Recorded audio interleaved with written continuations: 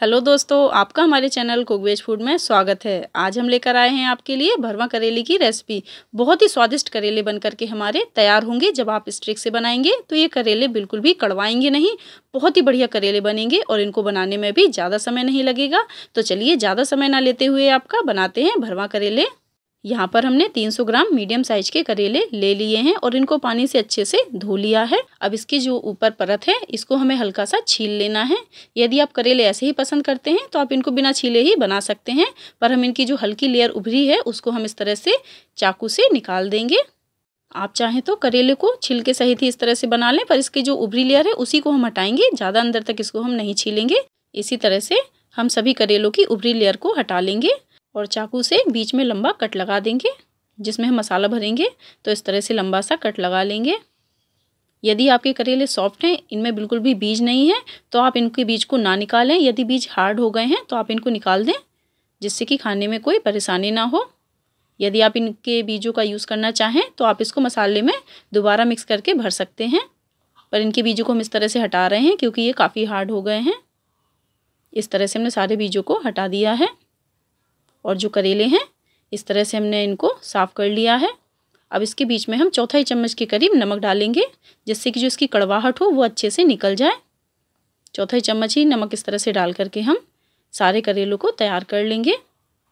इसी तरह से हमने सारे करेले तैयार कर लिए हैं और एक बाउल में इस तरह से हमने रख दिया है। अब इसके ऊपर से हम लगा देंगे हल्का सा नमक, करीब आधा चम्मच, जिससे कि जो ऊपरी परत की कड़वाहट है, वो भी अच्छे से निकल जाए।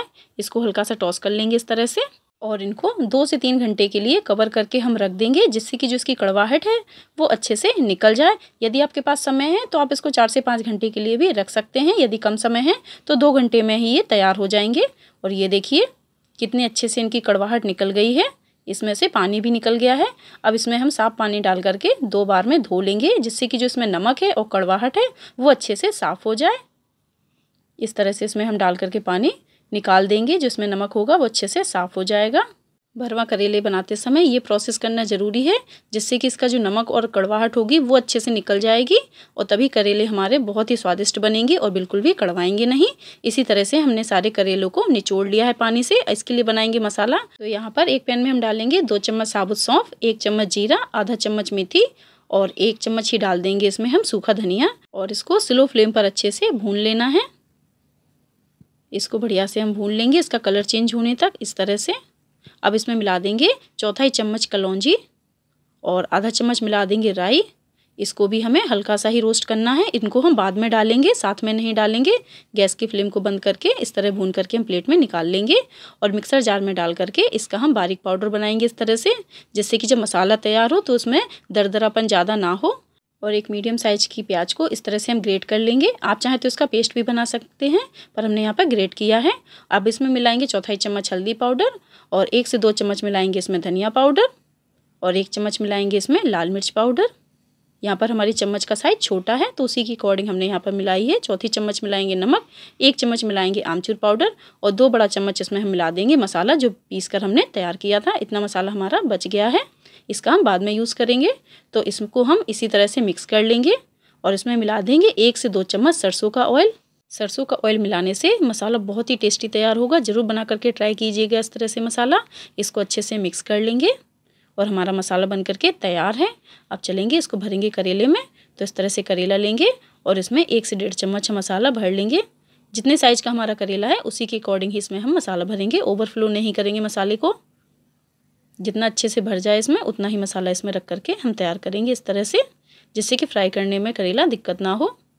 सभी करेले को इसी तरह से भर करके हम तैयार कर लेंगे और ये लीजिए, सारे करेले हमारे तैयार हो गए हैं फ्राई होने के लिए तो पैन लेंगे और इसमें डालेंगे सरसों का ऑयल करेलों को हम सरसों के ऑयल में बना रहे हैं, आप चाहें तो रिफाइंड ऑयल ले सकते हैं, पर जो भरवा करेला है, वो सरसों के ऑयल में बहुत ही स्वादिष्ट बनते हैं। ऑयल गर्म हो जाए तो चौथाई चम्मच मिला देंगे इसमें हींग, और इससे ज़्यादा इसमें हम कुछ नहीं डालेंगे।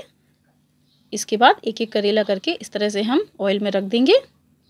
इसको भी हमें ज़्यादा चलाना नहीं है, इसी तरह से हम रख करके करेलों को कवर करके पकाना है। तो पाँच मिनट के लिए इसको हमें पका लेना है, इस तरह से ढक देंगे और स्लो फ्लेम कर देंगे और पाँच मिनट के बाद हम चेक करेंगे। ये देखिए, पाँच मिनट के बाद ही इसको हम पलटेंगे जिससे कि दूसरी साइड भी अच्छे से ये फ्राई हो जाए।